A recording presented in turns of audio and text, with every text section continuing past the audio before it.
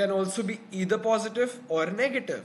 However, standard enthalpy of combustion, it will always be negative. Delta H naught C will always be negative because combustion is an exothermic reaction. So always, uh, so always, uh, always negative. Standard enthalpy change of neutralization will also be always negative because even neutralization is an exothermic reaction. So always negative. Standard enthalpy change of solution can be positive or negative depending on uh, what the situation is. So it can be either positive or negative.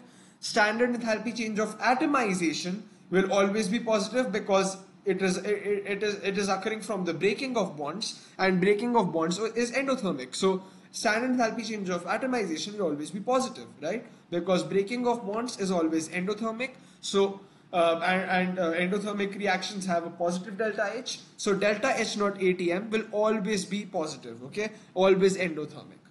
Standard enthalpy change of hydration is also always exothermic. Remember, standard enthalpy change of hydration is also always exothermic. So always negative because hydration, the hydration reaction is an exothermic reaction. So standard enthalpy change of hydration will always be negative. So this is what you need to know. You need to know these signs because sometimes they can ask you what the sign will be. So you can say either positive or negative depending on what it is or always positive or always negative, right? So this is it.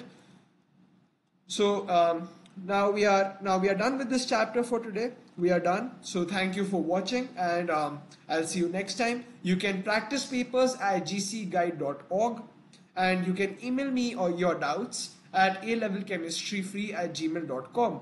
The link to the past papers website and the email ID are given in the description so you can easily find them. Keep practicing, keep working hard. Thank you for watching. See you next time.